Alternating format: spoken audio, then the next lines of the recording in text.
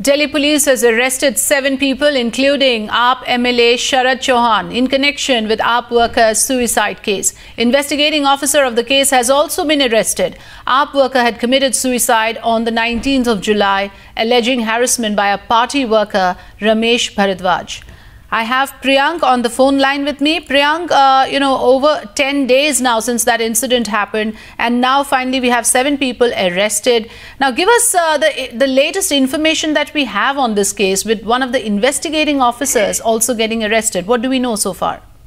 Uh, see, Afrida, uh, the investigating officer from the lower, from the you know district police station has been arrested along with the AAP MLA uh, Sharad uh, Chauhan. Uh, the victim in her suicide uh, uh, no, video, uh, which was a dying declaration from the victim, had also alleged that there is some kind of involvement of AAP MLA and who was trying to protect the main accused, uh, Ramesh Bharadwaj, who okay. was arrested by the Delhi Police Crime Branch official uh, mm-hmm. three, four days back because the case was transferred to the crime branch from the local police uh, to, uh, you know, to have a proper inquiry and a very fast uh, you know, Delhi police uh, functioning. Uh, after which the Delhi police yesterday called uh, AAP MLA Sharad Chauhan, uh, uh, you know, early morning around 10 o'clock he was called. He joined questioning and uh, since then he was questioned in detail and now uh, formally the Delhi police officials, the senior officials have, uh, you know, confirmed to us that uh, formally they have shown arrest of AAP MLA along with uh, six other people who okay. are also, uh, you know, arrested in the case, including the IO